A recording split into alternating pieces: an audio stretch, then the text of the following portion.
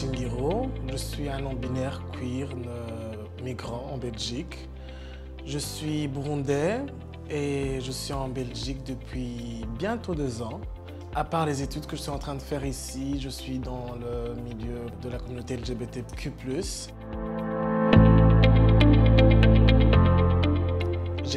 Des discriminations comme toute personne de la communauté, sans oublier que j'ai grandi dans un pays africain. La chance que j'ai eue, c'est que j'ai une famille qui est tolérante, si on peut dire ça, et que quand j'ai fait mon coming out, ils n'ont pas accepté directement, mais j'ai eu quand même un grand soutien de leur part. Et du coup, ça, ça m'a aidé à m'en foutre en quelque sorte de la vie des autres. Même avec une loi qui me condamne dans mon pays, ça m'a quand même aidé. Pour euh, le dépistage et tout ça, personnellement, moi, je, je, le fais depuis que je suis au Burundi et c'était plutôt facile, si on peut dire ça comme ça.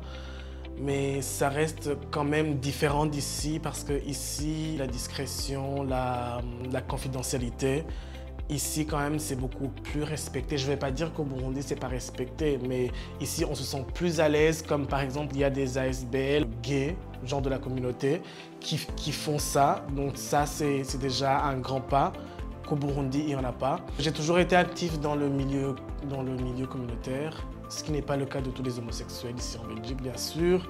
Je m'aventure facilement dans ce genre de milieu, donc j'ai pas eu beaucoup de problèmes à, à m'approvisionner de préservatifs ni de lubrifiants. L'avantage d'ici, c'est que de un, l'activisme dans la communauté LGBT, c'est beaucoup plus avancé. C'est-à-dire on a accès à plusieurs endroits différents selon sa sexualité ou selon son genre. Par exemple, la, la maison arc-en-ciel ou prévention sida, c'est quelque chose qui est accessible facilement et qui est assez ouvert. Mais au Burundi, c'est pas le cas, par exemple. Au Burundi, c'est sortir, c'est se cacher, c'est c'est aller, aller faire des dépistages sans même vouloir que son meilleur ami le sache, donc euh, c'est pas facile quoi. C'est une maladie qu'on a toujours euh, craint jusqu'à présent. Avoir le courage d'aller se faire dépister, que même ce soit pour euh, une IST, c'est difficile pour certains. Déjà, c'est déjà difficile de s'accepter soi-même, d'accepter sa sexualité. Et du coup, rajouter des maladies, c'est pas, pas quelque chose d'évident. C'est le genre de frein qui, qui fait que la plupart des personnes euh, de descendance afro ont peur d'aller se faire dépister, surtout dans la communauté. Le VIH, c'est une maladie avec laquelle on peut vivre. On peut vivre avec ça sans que ça change la vie de chaque personne. Et aussi, il ne faut pas avoir cette peur de comment ça va se passer demain ou après-demain alors que j'ai cette maladie.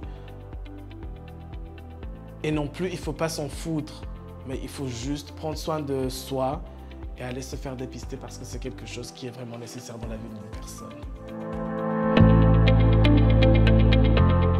Les traitements aujourd'hui, un, pour se protéger, il y a le préservatif, le classique. Il y a aussi la PrEP et aussi sans oublier que quand on a pris des, quand on a, on a pris des risques, il y a aussi le TPE, le traitement post-exposition. Et ça aide quand tu y vas dans, dans, les 48 heures, je pense, oui, dans les 48 heures, et aussi, après avoir euh, eu le VIH, il y, a, un traitement qui peut mener, si on prend bien, à indétectable égal intransmissible. Mais bien sûr, les chéris, il faut bien prendre son traitement. Moi, personnellement, la PrEP et le préservatif, c'est deux moyens de se protéger contre le VIH. Mais sans oublier qu'on est tous humains, que parfois ça arrive qu'on oublie, parfois qu'on prend des, risques sans le savoir.